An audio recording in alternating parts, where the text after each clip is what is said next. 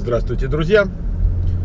Спрашивают, вот есть курсы английского языка в Российской Федерации общего назначения, а есть вот предлагаются курсы тоже английского языка, но специализированы, там, скажем, бизнес, IT, то есть для работы в какой-то области. И человек, который как бы ниже среднего, то есть там не бог весть, как у него с английским в целом, он говорит, так мне чего, дальше продолжать брать курсы английского в целом? Или мне правильнее брать курс в какой-то узкой области языка, профессиональной области языка. И вот э, не, не дожидаясь, пока в целом язык там подрастет. Тут есть, на самом деле, при всей очевидности, да, вот как бы ответа, э, а нас учили, что очевидно, это то, что легко доказать, вот когда я математику изучал. Давайте мы попробуем это сделать. Я хочу сказать, при, при всей очевидности тут много неочевидного. Вот так я поставлю вопрос. Значит, что получается? Если мы смотрим на язык, да, э, понятно, почему есть курсы общего плана и есть курсы специализированные, потому что э, есть грамматика, есть там построение там чего-то еще, не знаю, фонетика, там еще что-то, что всегда присутствует, независимо от того, на какую тему вы беседуете. Вот вы можете говорить там про нефтяные скважины, а можете говорить про, допустим, IT или там про э, торговлю бытовыми электроприборами, и все равно это будет английский язык. Да, вот что-то же делает это все английским языком, независимо от темы. Вот это изучается в общем таком э, курсе. Но дальше начинается уточнение, потому что вот если вы начнете говорить, например, знаете, я вам пример приведу такой. У нас э, многие люди, которые в Соединенных Штатах живут, в какой-то момент они идут и получают лайсенс, например, на real estate, на недвижимость, э, или на страхование, вот я получал. И ты э, как, как новый язык изучаешь, потому что вроде слова все знакомые, а смысл совершенно другой и в, и в estate, и в страховании. Понимаете, просто другой язык. Я однажды купил журнал, назывался э, Car and Driver, да, ну как бы, вот как аналог советского за рулем. И невозможно читать вообще, то есть там идет какой-то такой шоферской сленг. Э, ну, то есть понятно, в общем-то, но я даже не знаю ни одного человека в моей жизни, кто бы вот на таком языке разговаривал. Поэтому значит, в каждой области есть как что-то свое, своя специфика. Я помню, был смешной э, какой-то фильм, комедийный, и там два афроамериканца разговаривали друг с другом. И шли субтитры, потому что понять, что они говорят, было невозможно. То есть, как бы для американцев субтитры. Значит, вопрос в чем? Конечно, если вы хотите в какой-то области, значит, вести разговор профессиональный, конечно, надо понимать язык этой профессиональной области. Что тут, что тут говорить? Но есть э, два момента здесь. Значит, момент первый состоит в том, что э, даже если вы говорите о нефтяных скважинах или там, я не знаю, недвижимости, все равно это английский язык. То есть, если вы будете изучать язык, вообще начнете изучать язык с профессиональной области, вы все равно будете изучать общий язык тоже. И это то, как изучают язык люди в эмиграции, не, не те, кто на курсы ходят а те, кто приехал, и надо работать, надо жить, надо как-то самообеспечиваться, ну, вообще функционировать в обществе. Поэтому он потихонечку научается, он потихонечку научается это делать в ресторане, он потихонечку научается это делать там в отделении связи, если там, не дай бог, туда пешком надо прийти, вот, э, или там, ну, ну где еще? В магазине, и там у врача, э, в общественном транспорте. И, соответственно, профессионально тоже, да? на улице вот он столкнулся Э, на работе, он потихонечку набирается лексики всякой. Он может набраться этой лексики э, гораздо больше профессиональной, чем, например, в общечеловеческом э, значении. И если он услышит это где-то в общечеловеческом месте, он может не понять даже, что там происходит, потому что для него смысл этого узкопрофессиональный. Ну, ничего страшного, но это то, то как мы здесь учим язык. Если приезжаем без языка, и у нас нет времени ходить там на курсы, там вот так и учим. То есть, вы можете с первого дня пойти на курс узкопрофессиональный, и если вас возьмут и как бы дадут вам возможность такую, э, будете изучать сразу и то, и другое. Ничего страшного, то есть, да, как капельки воды, там весь океан представлен, вот так, так и в профессиональной лексике. Весь, весь язык представлен тоже. Это раз. Значит, что еще? Язык, как ничто и другое, э, сильно завязан в изучении на того, кто ведет занятие. Э, кто ведет занятие, там есть два компонента важных. Значит, первое, кто сделал курс, по которому он ведет. Да? То есть, вот, например, может быть, есть книжка какая-то или там учебное пособие, не знаю, методическое пособие, ну что-то.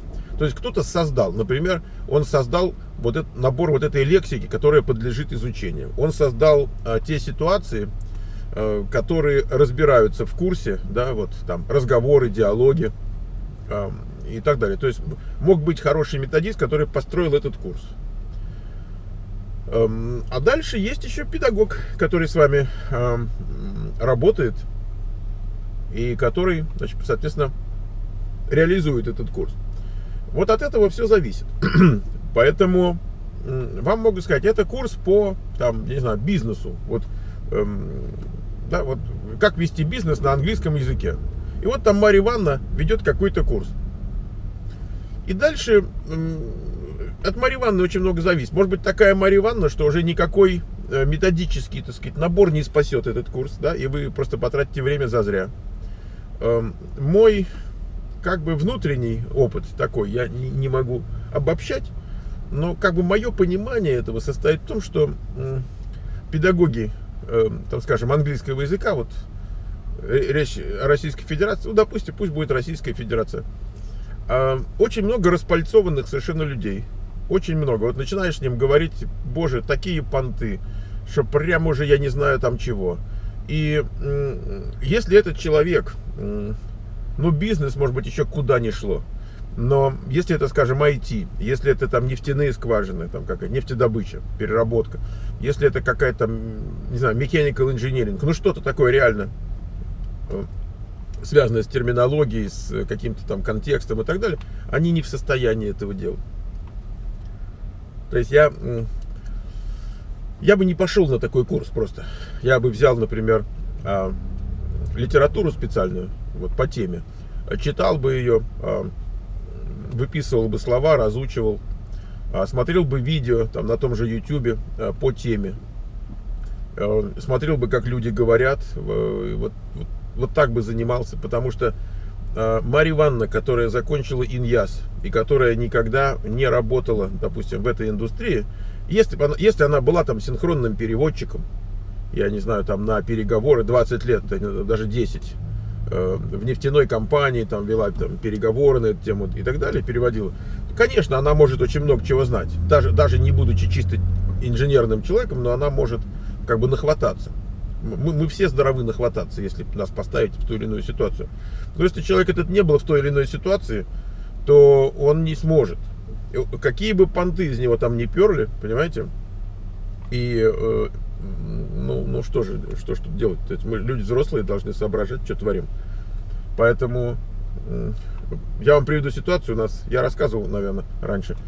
Вез, вез я из аэропорта девочку, она только что приехала, 25-26 э, лет из... Э, э, я, я извиняюсь, э, Горький вот раньше назвал, у меня вылетело слово новое. Из города Горького в прошлом. И вот, значит, закончил институт по международным отношениям, там местный университет. И я ей говорю, так ты чего, говорю, думала, что ты вот сейчас закончишь там университет и что тебя в посольство Российской Федерации куда-нибудь пошлют или как? В консулат какой-нибудь? Она говорит, ну конечно. Она говорит, нам же говорили, что мы учимся по программе МГИМО. Понимаете? И вот это вот, э, ну, патентованная как бы э, позиция. Я, я куда родители смотрели, вот я думаю, ну ладно, ребенок там не, не понимает, но родители по программе МГИМО. Нижний Новгород, я, я извиняюсь, вылетел. Не то, чтобы я совсем темный, просто вылетел. И вот, э, значит, вы можете вот так вам скажут, с теми же понтами, вам скажут, вы чего, у нас тут по программе там туда-сюда, у нас Марья Васильевна, она там тут и там, у нас... То есть, э, ну что сказать, если вам просто английский вы учите, и вам интересно было по бизнесу, там, и как-то вы не имели в виду это реально использовать, а так просто вот, может быть, чуть-чуть какой-то аромат такой добавить к тому, что вы делаете, конечно, не вопрос. Тем более, если Марья Васильевна симпатична и так, в общем, так, одевается красиво, глаза большие. Ну, можно, а что нет, господи. Эм, а если уже так по делу, то, конечно, сложно. И я хочу сказать, что я сталкивался вот в Соединенных Штатах с тремя-четырьмя ведущими эм, ведущими в том смысле, что их все знают. Вот они, у них публикации, они там на слуху, на виду, они повсеместно. Эм, нашими соотечественниками, которые обучают английскому языку и там и для начинающих, и для более продвинутых. И я хочу сказать, вот насколько в людях понтов нет вообще, ноль. Понимаете, ноль. Поэтому, если видите понты, не, не ходите к ним. Э, человек, который реально чего-то стоит и как бы добился чего-то в жизни, у него нет понтов. Понты это защита внешняя от несостоятельности такой вот. Поэтому видишь с понтами, не связывайся. Э, э, ему не, не нужно тебя научить, ему плевать, как ты научишься. Ему, ему важно самоутвердиться за твой счет. Поэтому ищите нормальных людей, и у них надо учиться. Вот, вот я бы так сказал, как человек, который, э, уж не помню сколько лет, наверное, 40 с лишним, э, занимается преподаванием и имеет формальное образование, там, и педагогическое и так далее, публикации и все дела. Поэтому жизненный опыт в первую очередь. Поэтому мое наблюдение вот такое. Счастливо!